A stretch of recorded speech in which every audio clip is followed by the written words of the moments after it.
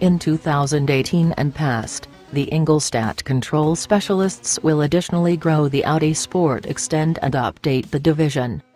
From what we know today, there will be no trade for the moderate offering R8, which will be eliminated in 2020 when the new Lamborghini Huracan arrives. Likewise dead, the proposed zero-outflow R8 e-tron and the Scorpion supercar are controlled by a 1000 horsepower V8 gloating a desmodromic valvetrain made from four 1.2-liter Ducati bike motors. Be that as it may, throughout the following a few years, hope to consider business to be common from Audi Sport.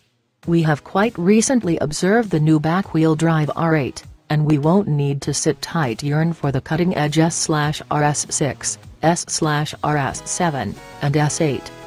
The inevitable RS4 and RS5 utilize another 2.9-liter twin-turbo V6 that makes 450 horsepower. Despite the fact that this is a shiny new motor, 470 horsepower gives off an impression of being its greatest potential. A PHEV version tosses in a 85 kW e-engine for good measure, however now it isn't booked for the RS models. To the extent the RS6 and RS7 are concerned, Audi will stay with the pervasive 4.0-liter V8 that covers a wide 500 to 650 horsepower section. Up until now, there is no sporty V8 half and half in progress. At the highest point of the lineup will be the RSQ8. 2020, which shares its 650 horsepower V8 with the Lamborghini Urus. The Q8 is a sleeker car subsidiary of the thick Q7. To wrap things up, Audi has an amazement up its sleeve in the state of venture J1. Porsche initially picked the J1 moniker for the all-electric Mission E, see page 56, due in mid-2019.